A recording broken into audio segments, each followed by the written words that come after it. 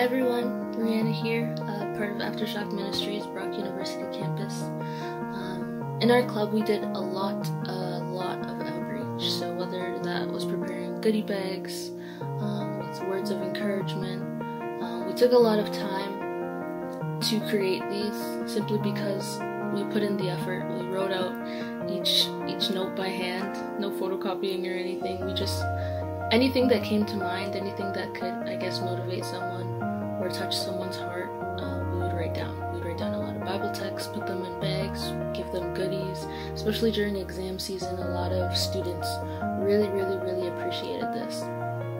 So this was our way of connecting like Jesus in our public campus through outreach.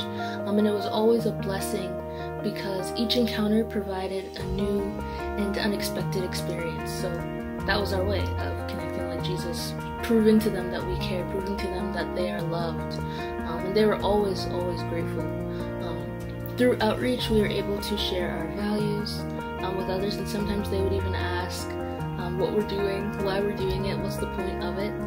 Um, but the simple task, the most important thing, was showing love and putting a smile on their face.